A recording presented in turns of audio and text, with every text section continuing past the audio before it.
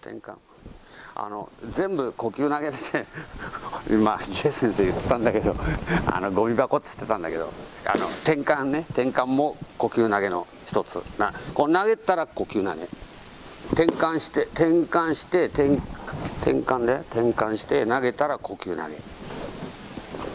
ここっち帰ってきて転換してこっち投げたら呼吸投げ。でで だからこう呼吸投げって言われても困っちゃうんだけどね。こうやってやったら呼吸投げ。転換してんの。でも転換してんの。転換。転換してこっち来たの。そういう呼吸投げ。ね同じじゃないですか。だから転換したの。転換した時のそのなんていうの？自分はこういうとこ自由で何でもできますよ。こっちもいい。ここ下げてきてもいい。で手を使わないで。こう。ねこうこう手手手使う。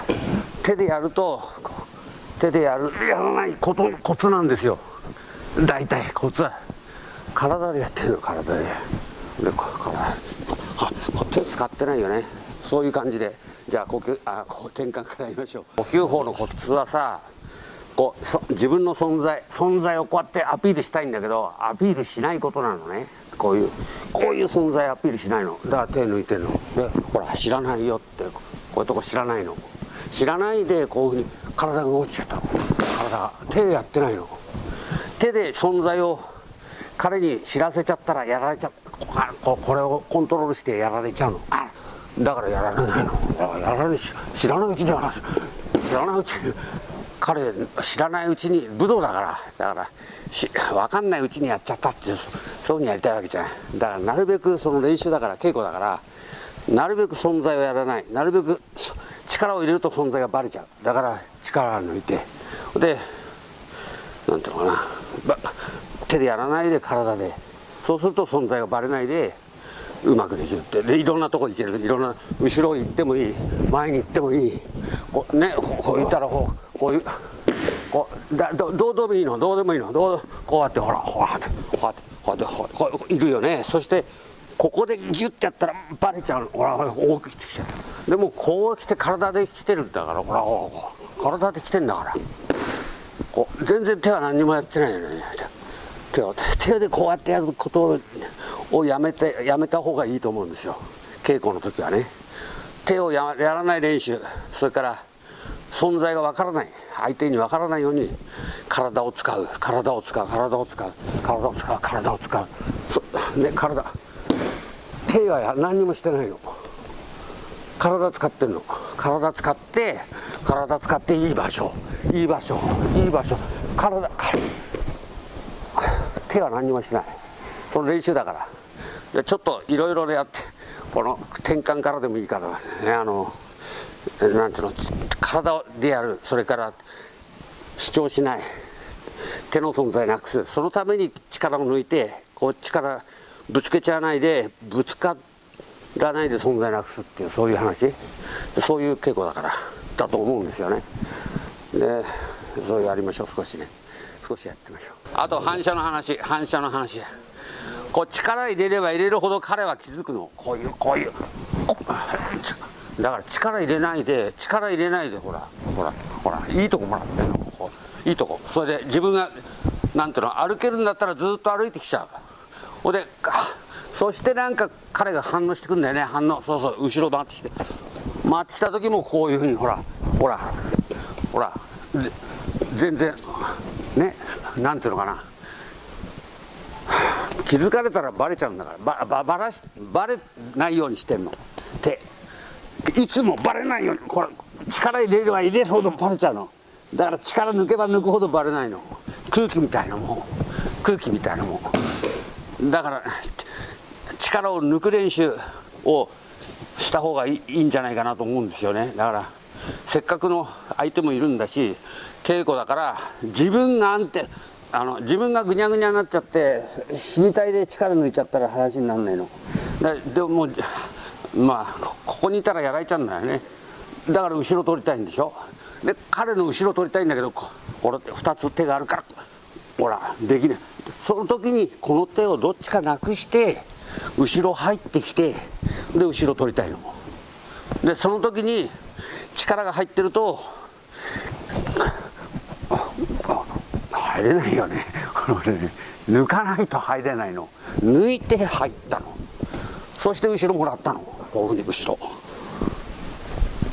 だ。からなんていうのかなみんなそういう教育でなんか押しのけてやるっていうふうになっちゃってるんだ。けど力抜いて自分の存在を消して後ろつるんとぬるっととか言葉使ってるんだ。けどまあそういう話ですよねだ。からその抜き方の練習抜き方の練習そしてこのままだ。ったらやられちゃうからこのままだったらやられちゃうから下まで落とせとかさ場所を作れとかさいろいろ言ってんじゃない？あの何？ここここうやったらここれほら、まあ、存在あるからね。こうやられちゃって。やられちゃって。やらでもこうやって落としてればあのなんていうの？場所彼が反応してくる。この手使ってね。そうそう。その時にこういうふうにほらほらなんていうのかな、そそそれが稽古なんですよね。だからあのそういう稽古そういう稽古あいやいや間違えちゃった。ねこういうところはあんまり気にしないでこう。で中心もらって後ろもらって後ろもらって後ろ後ろもらって後ろもらってぐーっと合わせてる。合わせてきてると力抜けてんだけどこういうとこはなんていうのかな。ぶつけてない。ぶつけてぶつけるとぶつければぶつけるほどバレるから。ぶつけてないの。そしてぶつけてないの。でこう入る。でこう振り返る。で中心もらう。中心。相手の中心。それから相手の後ろ。相手の後ろってのは相手の後ろ。相手の後ろ後ろ。後ろ後ろ。そその時にこれバレないように。バレないように。自分の目標は自分の自分のなんていうのかな。そうバレないようにねバレないようにバレないように後ろもらうのこうやってこうやってこうやってこうやって後ろもらうの。後ろもらうの。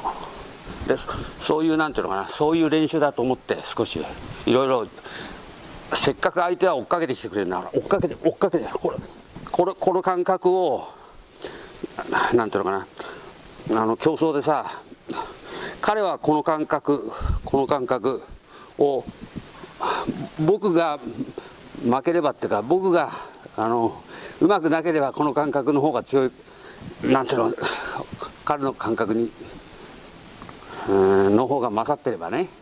でもほらほらほら後ろもらってそして重心重心もらってそしてこう楽楽楽楽。それでこう自由に動く。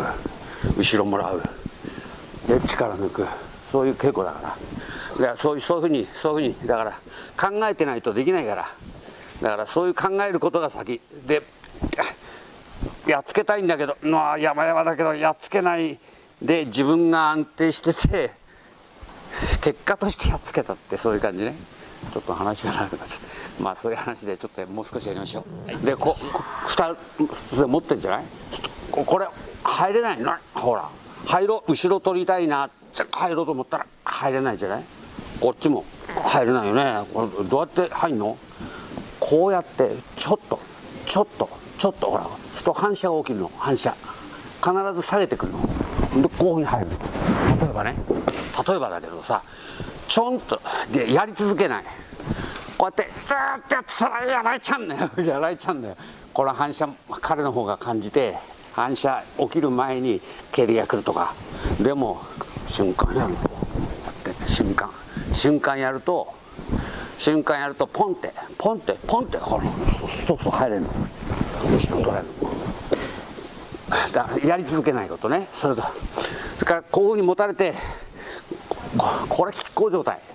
これ何にもできないの。あの今みたいにやってもいいんだけどこの状態は崩す彼を崩すのはすごい大変。これこれ崩れないの絶対にところがなんか蹴りとかね蹴蹴って蹴もういいよ。蹴って蹴ってきて蹴ってくるとできるの。なんかほうにほうにできるの。拮抗拮抗状態が一番難しいの。拮抗状態からスタートすんな難しいの。できないの。だから何でもいいんだけど手を手で離して手で殴ってくる。手で殴ってきた時にできる。手で例えばこうやって離してああそうそう。その時にこうやってできるの。なんつうのかな。亀甲を破った方ができるっていうのかな。それと反射をもらう。反射をもらった。でもうもう要は重心重心と視覚。それが優先順位だから。相手の重心相手の重心をどうやって取りますか？視覚をどうやってもらえますか？それしかないから。これこれであとはあとは反射とかそういうのを利用してこう後ろもらう。こうもらう。ね？もらう。で手を使わない。手を使うとバレちゃうから。バレないように。なるべく。でそれで少しやりましょう。あの拮抗した状態からやって。失敗するじゃない？失敗したら失敗してみんなやめちゃうの。かかってかってやめやめちゃったらそうしちゃうの。やめちゃうのが大体癖だから。失敗したら次リカバリーしてリカバリーするんだけどこのいやここれやめてこ例えばさ内側から入る形やったとする。こうやってこういうふうに押さえられちゃったらやめちゃうんじゃない？じゃなくて自分の使えるところほら。やめないことなの。やめる稽古しちゃダメ。だからずっとほら失敗失敗してもいいよ。失敗入らない。でもやめないの。ほらほら。ずっとやややめる癖がついてるから。やめる癖がついて失敗した。あ失敗しちゃった。やめちゃおうってこういうふうに思っちゃってんね。待ってあ疲れちゃった。ほら疲れやめないことなの。だからそれがコツだから稽古の時はやめないこと。失敗するのは当たり前。あれジェイさんよくやってんだけど失敗しても当たり前。うまくねえんだから当たり前なうまくないうまくなかったらじゃあどうする？お失敗してもやめないことね。じゃあもう少しもう少し。あの失敗したらやめないことすごく大事。それから手を使手を使わないことも大事。で手は遠く離れてるといかないの。違う。近い方が楽なの。近い方が楽。近い方近い方が楽だから一番いいのはこういうところで手を使わないでこういう練習ね。こういう練習。こう手手使ってないこれ。ねこうこうこうこうこういうこういうなんていうのかな。そういううまくうまく 上下は使ってもしょうがないんだけどさ。